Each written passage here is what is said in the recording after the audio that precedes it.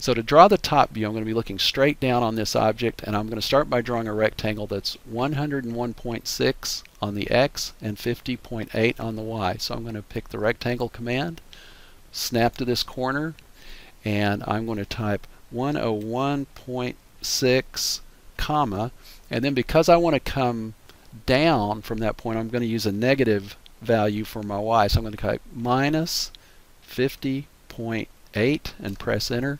And so my top view can fit right up in there.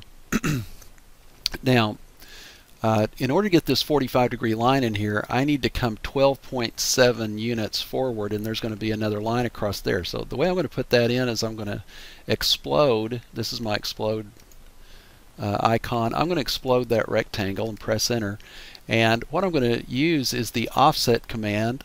I'm going to pick on offset and I'm asked to specify a distance. I'm going to type 12.7 and press enter. I'm going to pick that top line and then move anywhere below it and pick. Alright, so I've just offset a line 12.7 and according to my sketch at that corner I need a 45 degree line starting right here that's going to come all the way out past or all the way out to the intersection of this line right here. So I'm going to start my line command. I'm going to snap to this corner. I'm going to move in the direction I want to go. And I don't really know the exact length of that line, so I'm just going to exaggerate it. And I'm going to say, I'm going to draw that line 75, press the tab key, and since it's a 45 degree angle, but I have to add the 90 degrees in there uh, from east, I'm going to type 135 and press enter, and then press escape. Now at that point you can see I've come out past there and this is a simple matter of just selecting the trim command and then pressing enter. Whenever you pick trim just press enter and that makes everything a cutting edge. I'm going to pick here, pick here, and I'm going to pick here and trim that off.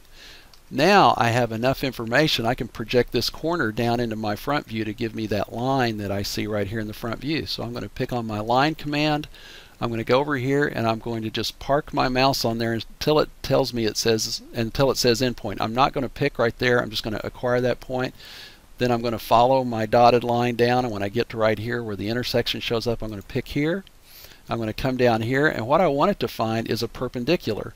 And I don't see it finding perpendicular so without canceling the command I'm going to go to OSNAP I'm going to right click on that. I'm going to pick perpendicular object snap and now it should find a perpendicular. I'm going to pick right there and then press escape to break out of that command. Okay the next thing I'm going to add to the top view is I have a radius of 19 right here and because the way those center marks are drawn on that I know that that radius is located 19 millimeters over from the left side and 19 millimeters back from the front edge. And the command I'm going to use is the fillet command.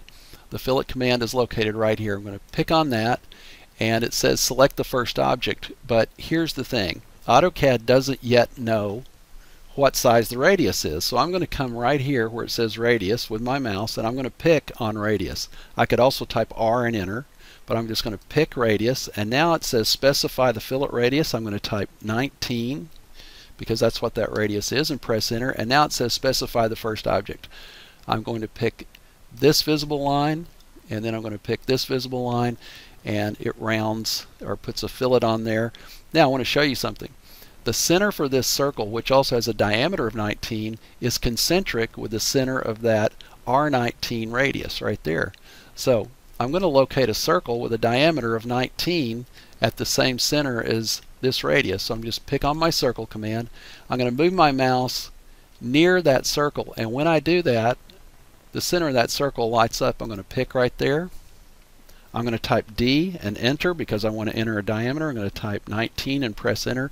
And at that point uh, I have my circle located. Now the other thing I need is I need to draw the edges of this cylinder in the top view. And I know those are going to come out 25.4 millimeters. So that's my next thing I'm going to do is I'm going to use my offset command again. I'm going to type 25.4 and press enter select the back edge pick anywhere below it and pick. And so it offset that line 25.4 now I'm going to zoom in get this set up here and I'm going to go to my line command and I'm going to come to this circle. And what I'm looking for down here is a quadrant but I'm not seeing the quadrant object snap light up because I know that it looks like a diamond shape and it's not showing. So I'm going to go to o, o snap, right click on that, and go pick on quadrant. Turn quadrant on, come right in here, select on my, actually I'm not going to select it, I'm just going to park on it till it tells me it's acquired the quadrant. I'm going to move straight up, I'm going to pick here, and I'm going to go perpendicular to there. I'm going to do the line command, select it again, come down here, park on quadrant, come straight up, pick and pick, and at that point I can actually either trim this line back to here on both sides or I can just pick on the line and then I'm going to pick on that blue grip right there and hold down with my pick button which is my left button and drag that back to here and then I'm going to pick. I'm going to come over here grab this one drag it all the way back to here and pick again right there. Alright now I'm also going to have two hidden lines that go through here for these lines in here so I'm going to pick on my line command I'm going to park on quadrant again I'm going to come up here pick and pick press escape, pick on the line command, park on the quadrant, come straight up, pick, and pick again. And those are on the wrong layer. I need those on the hidden layer, and here's how I can do that. I can select both of those just by picking on them. Come up here to my layer control, pick on the down arrow, and if I have a hidden line loaded in here anywhere, looks like I have a dash, so I'm going to pick on dashed. Usually I have a hidden line loaded, but you can see there's my hidden line for that. Alright, now I want to show you something. In the top view, when you look straight down on this, you don't see a line coming all the way across. That's because these, this plane that I have right here comes up into here and then it runs out, and it does that on both sides. So I need to trim across the edge at both of where both of those run out. So the way I know where the run out is located, I'm going to pick on my line command. I'm going to come right down here and, and find where this line comes up and intersects where earlier I drew tangent. I'm going to park on that endpoint right there and I'm going to come straight up in line with that and pick and then I'm going to go perpendicular to that. so I'm going to take this line out in just a second but I'm going to trim from this edge over to the opposite edge over here. I know it'll be the same size on the other side but I'm just going to go go to line go find the end point of that line. I'm not going to pick it. I'm just going to park on there. Then I'm going to come straight up. I'm going to pick at that intersection and then go perpendicular to the top line. I'm going to select trim and press enter. And I'm going to trim this line right there. And I'm going to trim it to there. And I'm going to trim it to there. I'm also going to trim this edge and this edge. Press escape. Now I'm going to pick this and this and press delete or erase and that's what my top view is going to look like. Now I still need to add center lines and a center line through here but uh, you probably know how to do that. One of the things you do to add the center mark is to pick on the center mark icon and pick the largest thing that you have the center of and you can see that would draw that. Now right now I have that on the object layer so I would select that and put that on a different layer. Uh, I might put it on dimensions or I could put it on center. I usually don't put uh, center marks made with this icon on the center layer because the lines are already broken and they have the gaps in there so I don't really need the extra gaps that I would get um, by doing the center layer. But let's just make the center layer our current layer real quick and go to the line command and I know the center of this of this hole that goes through here would be at the midpoint of this line but again I don't have that on so I'm going to go to object snap right click and go find my midpoint icon and I'm going to draw a center line from this midpoint perpendicular or back to that center point doesn't matter press escape. Excuse me.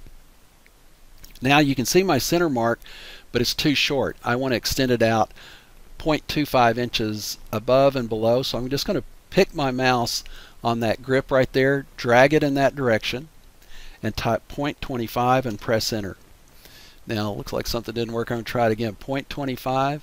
Now, the other thing I should look at here is I don't have ortho on, and so it's possible I could go off at a slight angle. So I'm going to press escape, and I'm going to turn ortho on. Now I'm going to try that again. I'm going to drag this out. I'm going to type 0.25 and press enter.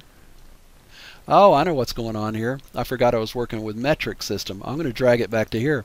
I don't want to go 0.25 inches. I want to go 0.25 inches equivalent in the metric system. So I'm going to pick on that. I'm going to drag it up and the equivalent of 0.25 in millimeters is 6. So I'm going to type 6 and press enter. So actually that worked out. That was a teaching moment there. I'm going to drag this down in this direction, type 6 millimeters and press enter. And there you go. I have that guy over there. All right. The next uh, part of this is to draw the right side view.